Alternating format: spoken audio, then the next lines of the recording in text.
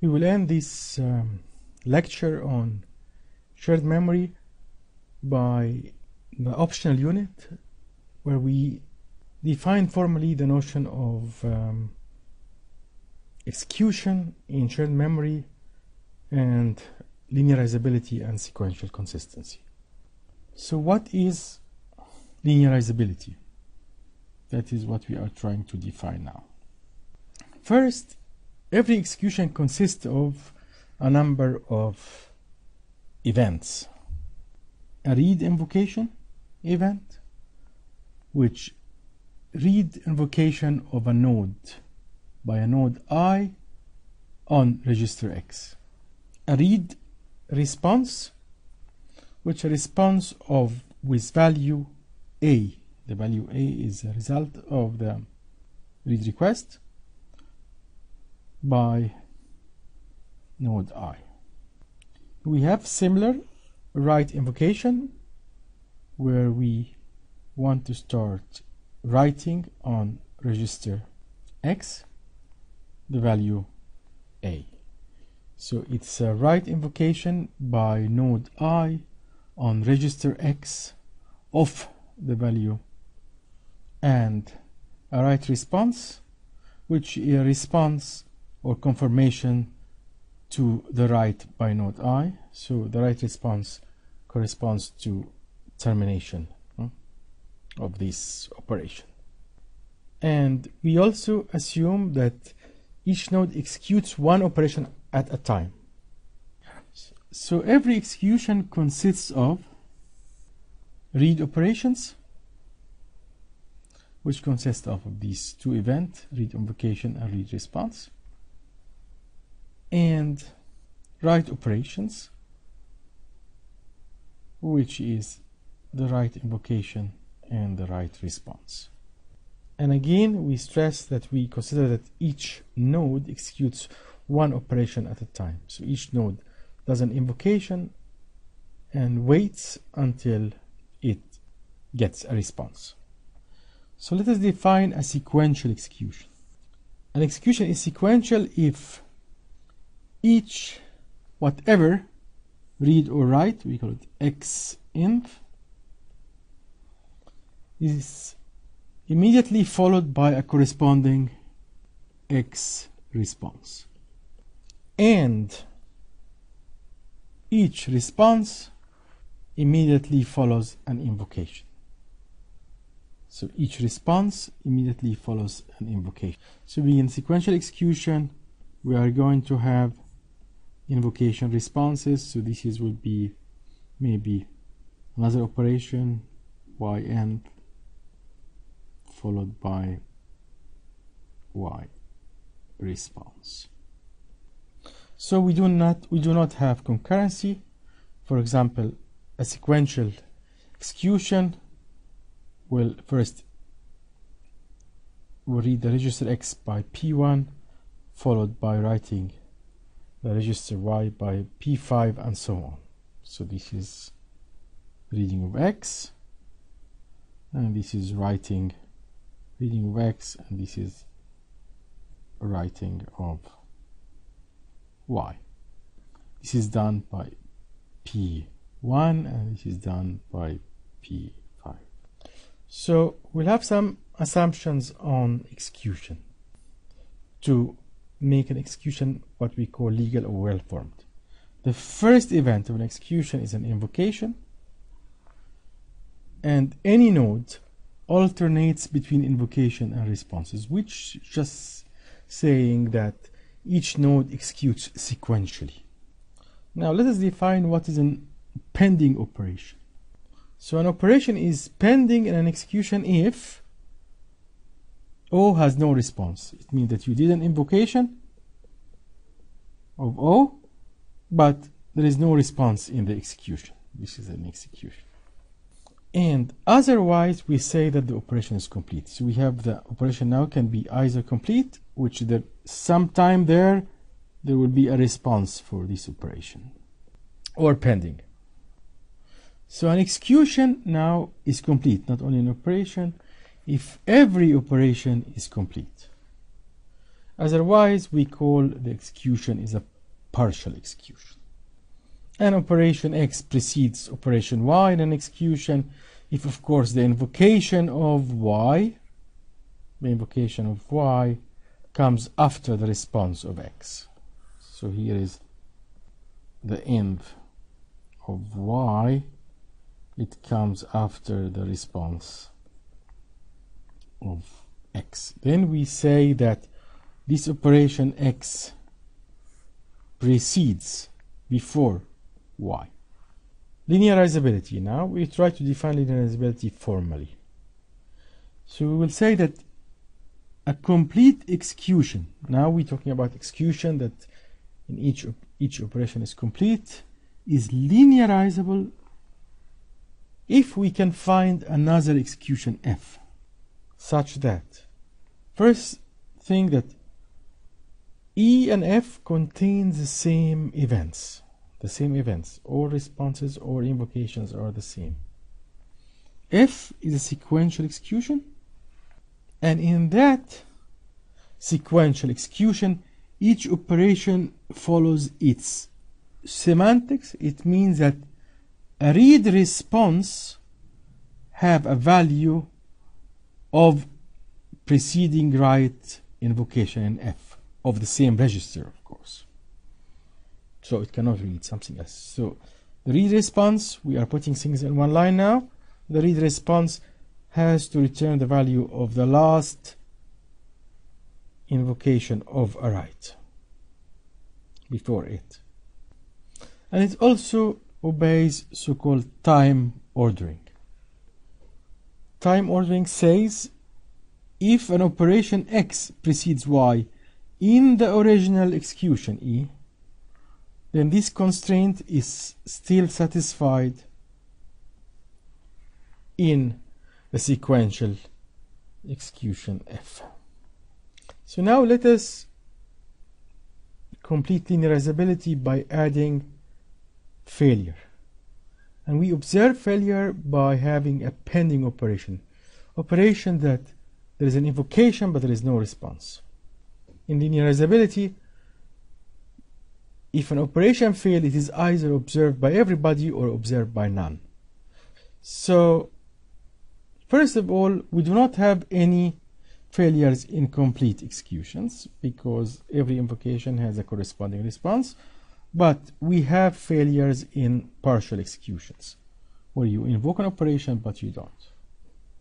So a partial execution E is linearizable if E can be modified to F so we can modify E to F such that every pending operation is completed and it can be completed by either removing the invocation or adding the response of the operation. By removing the invocation, the effect of this failed operation is not observed. By adding the, the response, the effect of this operation should be observed by everybody. Now we get F, another execution. And the next condition we have for linearizability is, a, is that F, the one that we have completed now from the partial execution, is also linearizable. That finishes the definition of linearizable executions. Now let us look to sequentially consistent executions. Okay.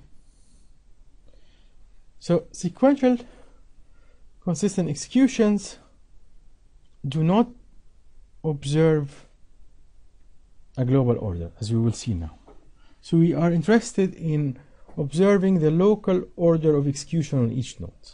So let us define what is an operation X locally precedes operation Y in E. If X and Y occur in the same node that's clear and x is before y in E. That is clear. So we say that x locally precedes y.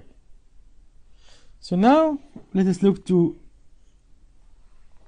sequential consistent execution E an execution E is sequentially consistent if there exists an execution F with the following properties we have this property before similarity of events. E and F contain the same events.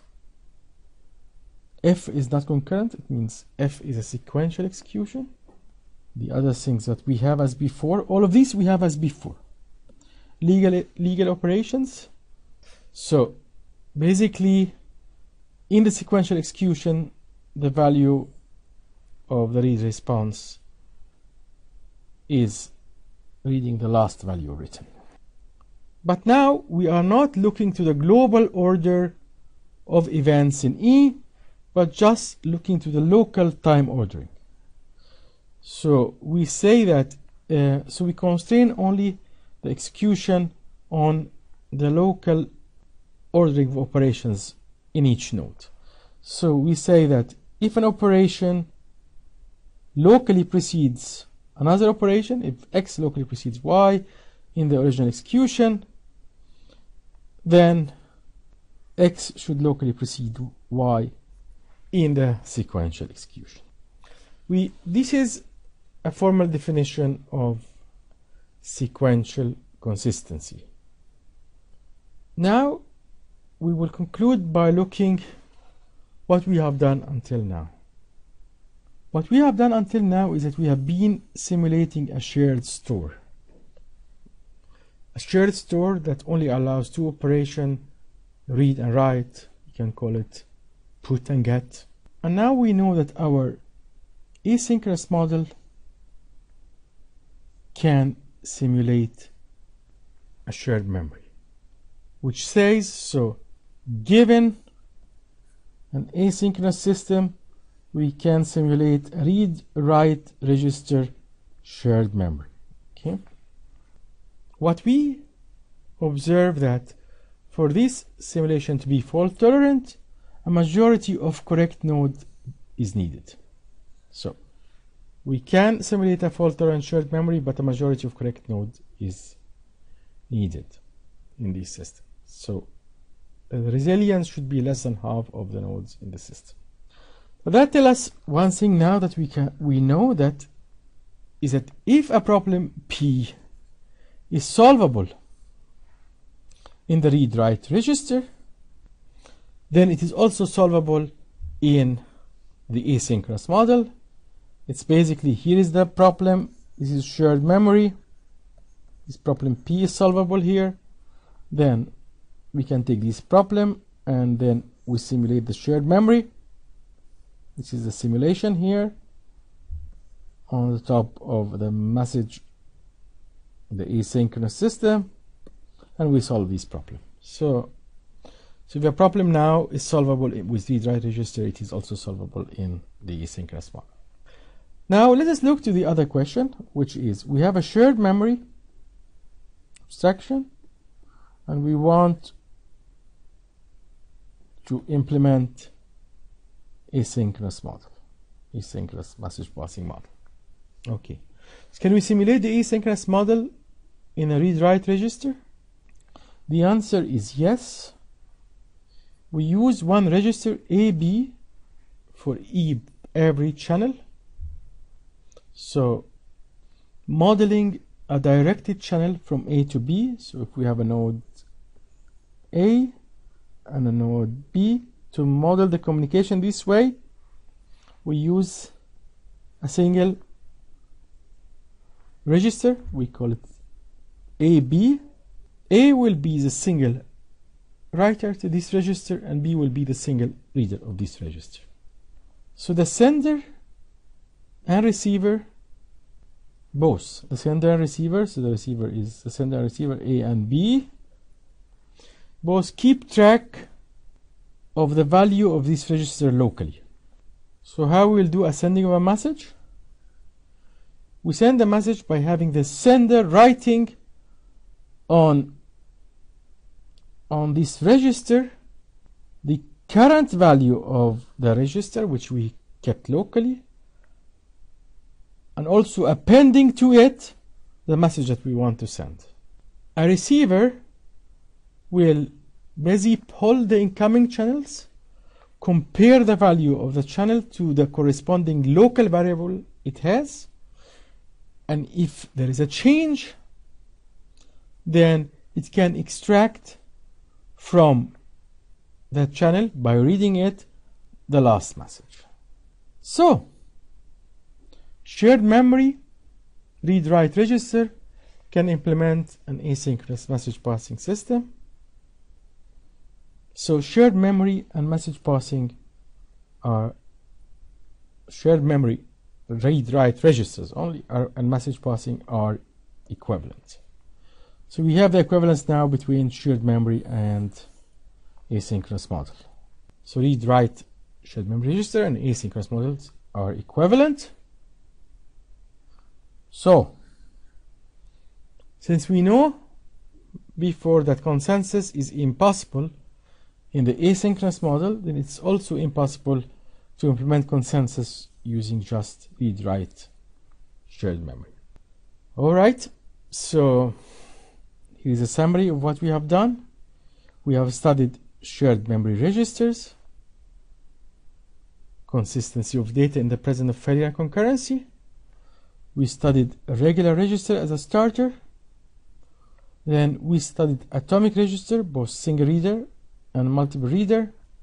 We also addressed sequential consistency, though we didn't describe an algorithm for implementing sequential consistency, but it is possible to have an algorithm for sequential consistency where the write operations fault tolerant sequential consistency consistency with the write operation will take one round trip of messages and the read will take on the in the worst case two round trip of messages and these can be compared with the linearizable system where we always have two round trips for linearizable linear for linearizable registers. We have two round trip for write okay, thank you